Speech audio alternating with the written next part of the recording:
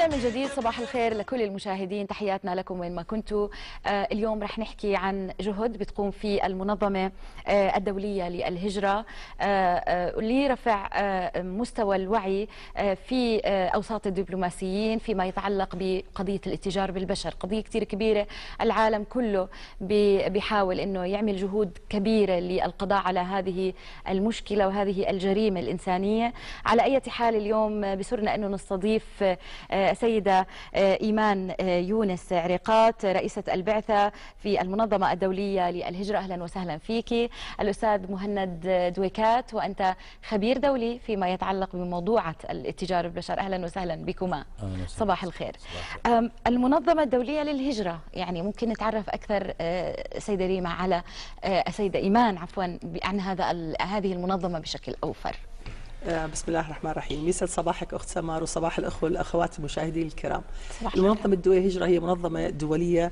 مقرها الرئيسي في جنيف ولديها 480 بعثة حول العالم في أكثر من 150 بلد. تمام. يعمل بهم 8600 موظف. نفذوا 2700 مشروع بلغت قيمتهم في العام المنصرم ما يزيد عن مليار و300 مليون. آه، هاي نبذة سريعة عن المنظمة الدولية للهجرة والتي أنشئت في العام 1951 نعم. لماذا الاهتمام بقضية الاتجار بالبشر في هذه المرحلة وفي هذا التوقيت؟ هل لأنه يعني التغيرات اللي عم بتصير في المنطقة ال- الحروب المختلفة الاستغلال للبشر للأسف بشكل بشع ما هو السبب بهذا التوقيت؟ ولماذا للدبلوماسيين آه، ست إيمان آه، عزيزتي إحنا في المنظمه الدوليه للهجره حقيقة. أول من دق ناقوس خطر هاي الجريمة النكراء والتي تعتبر الثالثة على مستوى العالم بعد جريمة ال- ال- السلاح والمخدرات. مخدرات. في منتصف التسعينات وبعد انهيار الاتحاد السوفيتي ظهر ما يسمى في الرقيق الأبيض. كانت المنظمة الدوليه للهجره هي أول من لمست إنه هنالك بيع وشراء ويعني اعتذر على اللفظ ولكن هي حقيقة الأمر صح. لسيدات نساء وأطفال للعمل في أمور كثيرة منها الدعارة وعمالة الأطفال الصغار وإلى آخره. أما عن الآن نشاطنا في داخل المنطقة العربية طبعا إحنا صار لنا خمس سنين تقريبا بنشتغل داخل دولة الكويت والمنطقة العربية. ما يزيد عن ثمان سنوات كمنظمة دوليه هجره ليست فقط الحروب وال يعني الله يا ربي خلصنا من هالمواضيع هاي السيئه. كلها. ويديم الأمن والأمان على المنطقة العربية. آه، ليست هي السبب الرئيسي ولكنها من الأسباب المهمة جدا.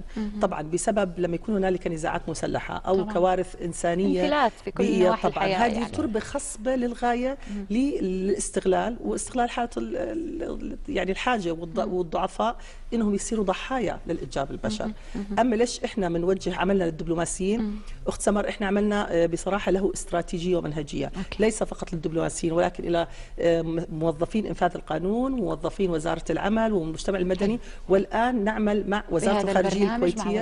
أحسنتي وهو البرنامج الثالث آه، لنشر الوعي بين الدبلوماسيين تمام. واخترنا المملكة الأردنية الهاشمية آه، لنقيم مثل هذه الدورة التدريبية حقيقة آه، لأنه ال- الأردن هي دولة رائدة على مستوى المنطقة العربية في مكافحة الإتجار بالبشر. أنتم لديكم خبراء بيحق لكم تفتخروا فيهم. الدكتور مهند وكات وبدون أي مجاملة هو دكتور. إحنا بنفتخر فيه كعربي اولا وأنا كأردنية بفتخر إنه عندنا خبير بهالمستوى و- ولديكم العديد من الخبرات اللي سبقتوا فيها المنطقة العربية. فكان إنه شيء طبيعي نعم. نحضر مع الدبلوماسيين ونقيمها في الأردن. نعم. آه، يعني بعد هذه الإشادة أستاذ مهند يعني أنت خبير دولي في موضوع آه، الاتجار بالبشر هذه الجريمة الإنسانية آم، في حتى مصطلحات جديدة بلشنا نسمع فيها العبودية الجديدة الأشكال ال- اللي بجوز كثير في ناس حتى ما بتعتقد أنها هي اتجار بالبشر أو عبودية وهي فعلا تندرج آه، تحت هذه الجريمة الإنسانية ما هي أهم ملامح الاتجار بالبشر عادة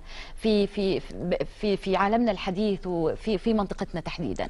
آه، يسعد صباحك ستي وبداية بحب أوجه الشكر للتلفزيون الأردني ولهذا البرنامج. يعني حقيقة اللي سلط الضوء على هذه ال- الجريمة اللي أصبحت في تزايد مستمر وخصوصا في منطقتنا العربية مثل ما تفضلتي وتفضلت الأستاذ إيمان في بداية حديثها اللي أصبحت في تزايد نتيجة الصراعات والفلتان الأمني الموجود في بعض المناطق الموجودة في المملكة. حقيقة أنه موضوع الإتجاب البشر بيحتوي ثلاث أمور رئيسية بتبدأ في العمل أو الاستغلال الجنسي أو بيع الأعضاء.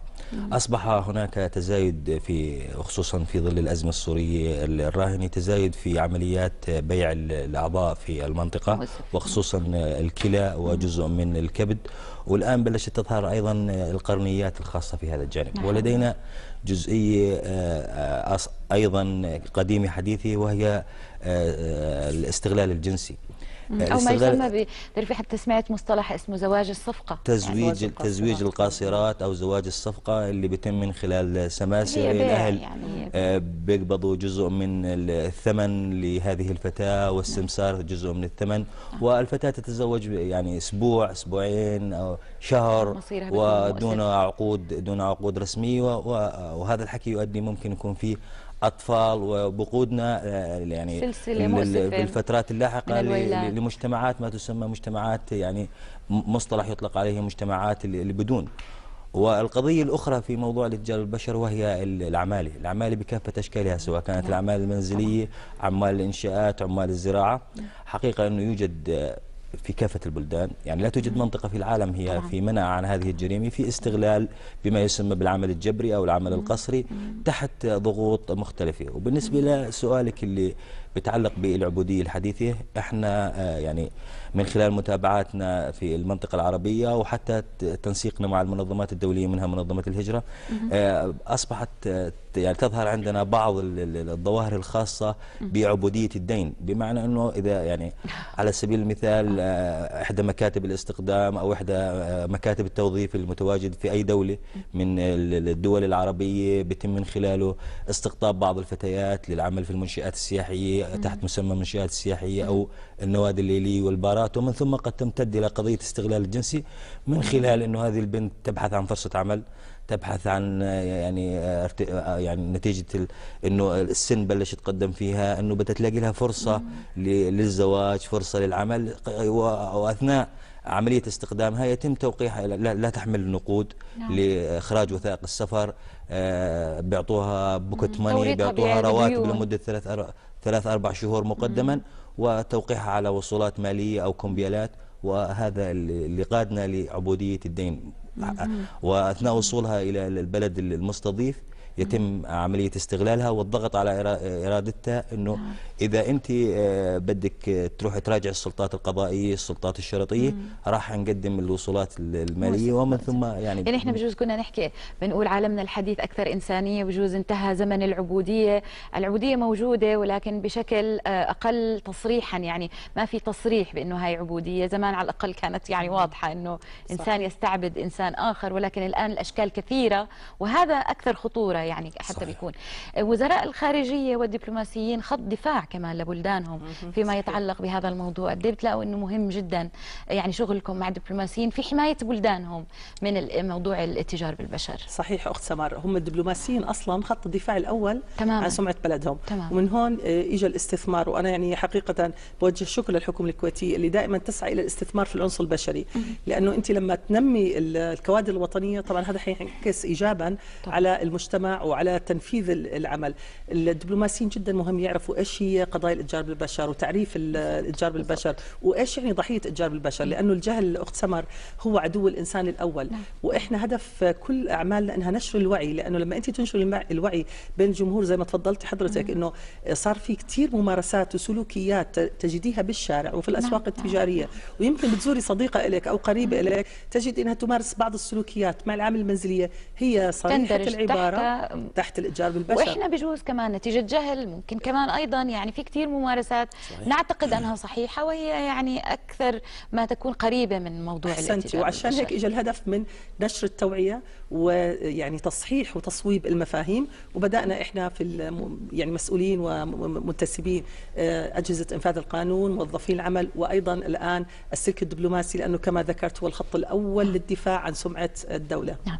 آه، في أرقام أستاذ مهند يعني تتزايد آه، أو يعني تدهشكم أو تدق ناقوس الخطر كما يقال فيما يتعلق بالمنطقة أو بدولة معينة؟ يعني ممكن تحكي لنا والله إياها؟ حقيقة إنه الأرقام في تزايد مستمر في في في هذا الجانب وخصوصا في قضيتين رئيسيات بنحكي عن مستوى المنطقة. قضية استخدام الأطفال في ال- والاتجار بهم لغايات النزاعات المسلحة لا بل هي امتدت نتيجة الإتجار أيضا صورة بلشت صورة حديثة من صور الإتجار وهو الإتجار في العقول. وقبل شوي كان حديثك مع يعني آه. مع فيصل يعني الإتجار. بالعقول هو يعني أصبح آه، يعني خطر على على المنطقة بأنه أصبحوا آه، نتيجة المسح الدماغ اللي بيتم لبعض هذه العقول أصبح فيهم صناعة للإرهابيين. صناعة لمنفذي العمليات الإرهابية. والقضية الأخرى اللي أصبحت أيضا في تزايد وهي عملية ال- الاستغلال ال- الوضع اللي بدور في المنطقة خصوصا استغلال ال- النساء في مجال أعمال ال- الدعارة في مجال الاستغلال كافة أشكال صور ال- الاستغلال ال- الجنسي الصور الإباحية الأفلام الإباحية وغيرها من من هذه الضروب و- و- وبلاش ننسى إنه يعني حتى التقارير الدولية بتشير إنه في منطقتنا العربية الاتجار في الأعمال وخصوصا الأعمال المنزلية زي ما تفضلت نعم، الاستاذ نعم. ايمان نتيجة الممارسات الخاطئة التي قد يمارسها ال- ال- ال- المتعاملين بالمنازل مع مع هذا الجانب آه، وهذا حقيقة هو يعني خلينا نحكي ليس تقصير ولكن بحاجة إلى بذل آه، جهود من من. الحكومات في نشر حتى الوعي ست إيمان إنه يعني يكون في معرفة أكثر عند الأسر اللي بتستخدم عاملات ال- الأسر مكاتب. الاستقدام جهات إنفاذ القانون للتعامل مع مع, مثل هذه الظواهر لأنه التقارير الدولية اللي تعيب على منطقتنا العربية آه وخصوصا إذا بنحكي في تقرير آه هو ليس إلزامي ولكن مخجلة. تقرير بيعطي مؤشرات تقرير وزارة مخجلة. الخارجية الأمريكية إنه تصنيف الد- الدول العربية لم تحصل ولا دولة عربية على في تقرير وزارة الخارجية على ال- الفئة واحد وإنما الفئة الثانية الفئة الثانية تحت المراقبة والفئة الثالثة في هذا الجانب وهذا مؤشر إنه بحاجة إلى إرسال أصلا عمال أو عاملات صح. إلى دول عربية معينة صحيح. يعني نتيجة أيضا الجهل في هذا الموضوع صحيح. وعدم إدراجه تحت ما يسمى بالاتجار بالبشر الله. أو تحت العبوديه بعض يعني القوانين أو العبودية زي ما تفضلتي اذا بحاجة إلى يعني تطوير تشريعاتنا بالشكل الصحيح بما يضمن حماية الضحايا بما يضمن التعاون الدولي للأسف الشديد إنه كثير من حالات الاتجار بالبشر إنه تبدأ في البلد المرسل لهذه الظاهرة طبعاً، طبعاً. وبلداننا هي العربيه مافيات يعني هي صحيح. وبلداننا العربية جزء من مسرح الجريمة تنفيذ لبعض هذه الجرائم إذا نعم. التعاون الدولي كان مبتور لغاية الآن في ال- في المن في العالم يعني مبتور في هذا الجانب نتمنى هذه نوصل صورة أكثر إنسانية يعني إن شاء الله إن في شاء الله. دولنا ست إيمان ما هو القادم وسريعا في عملكم في المنظمة الدولية للهجرة لدينا العديد من المشاريع على مستوى المنطقة العربية نعم. وتحديدا بين إن شاء الله الكويت دول مجلس التعاون الخليجي وأيضا الأردن آه، هدفنا هو الاستثمار في العنصر البشري نعم. نشر الوعي وشن حملات حقيقة آه، توعية للجمهور تستهدف الأطفال والنساء نعم. سيدات المجتمع العاملين في مختلف الفئات لأنه حينما ننشر الوعي بهذه الجريمة آه، صدقيني راح تتغير الأمور ما في عصا سحرية طبعاً. تقضي على الجريمة طبعاً. وحضرتك سألتي الدكتور مهند عن الأعداد حسب تقييم منظمة العمل الدولية للعام الماضي حكوا ما يقارب من 250 مليون إنسان حول العالم يتم المتاجرة بهم. للأسف وهذا الشديد. رقم يعني مهول. طبعا طبعا. نتمنى نوصل لعالم أكثر إنسانية وبمنطقتنا كمان. الله. إن شاء الله يا رب. وزي ما قالت كمان آه الأستاذة إيمان يكون في سلام آه في إن في. دولنا والدول العربية. شكرا جزيلا لك آه الأستاذة إيمان. حياك عريقات والأستاذ مهند الدويكات. شكرا جزيلا لكما. إحنا بعد فاصل قصير نرجع لكم نتابع فقراتنا معكم ابقوا معنا.